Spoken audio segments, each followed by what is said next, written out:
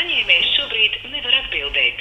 Lūdzu, sagaidiet signālu, ja vēlaties nosūtīt bezmaksas īsziņu par jūsu zvanu.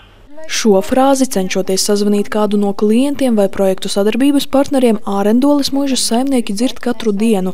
Kādreiz izmantoti dažādi mobīlo pakalpojumu sniedzēji, taču stāvoklis bija tik kritisks, ka mužnieki atgriezās pie sākotnējā Latvijas mobilā telefona operatora. Bet eh, arī LMT šobrīd nepiedāvā to, ko eh, mēs gribētu. No tā atkarīgs mūsu šeit eksistence, Arindos muiža, jo kultūrvēsturisku mantojumu uzturēt, eh, apsaimniekot un attīstīt nu, nav iespējams bez tādas teiksim, saimnieciskas darbības arī ir izcināšanas, un, un, lai risinātu tos saimnieciskas darbības, mums viņu, to te, tās tehnoloģijas ļoti vajadzīgas. Dažādās muiža sēkās un teritorijas vietās mobilo sakaru zona atšķiras un tās saziņu ar ģimeni, turistiem un partneriem apgrūtina visvairāk, jo vai nu zvans kādā brīdī pārtrūkst vai netiek saņemts vispār.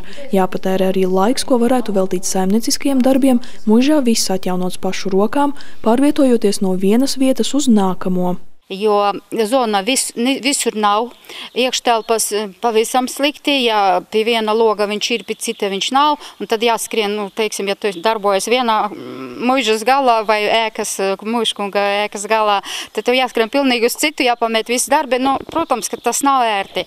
Lai nu atkal ziemā, tu esi, nu, mājas drēbes, tev jāskrien ārā, lai noķertu to, to zonu. Arī interneta pārklājums šeit ir vājš un rūti ir izvietoti vairākās muiža sēkas vietās. Tas savukārt sadārdzina pakalpojuma izmaksas, jo par katru no tiem jāmaksā atsevišķi. Jau saņemti arī vairāki aizrādījumi no muižas apmeklētājiem. Man viens klients saka, mēs jau gribējām braukt prom, saka, piebraukšu pie vārtiem.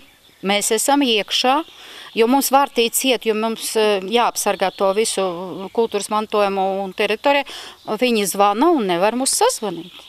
Nu, tas, tas iedomājieties, ja klients, viņš jau gatavs atbrauc no tālienes. Pie mums brauc arī ārzemnieki, kuri izīrēja lidmašīnu, oi, lidmašīnu, bet lidosta tos au, auto sev, ja, un brauc ar nu, auto, jo cit, citādi te nevar nokļūt. Un viņi nevar man konkrēti pateikt, kad tad viņi te būs, ja. Ik pa brīdim ar šīm sūdzībām ģimene vēršas pie pakalpojumu sniedzēja, taču uzlabojumi nav gaidāmi.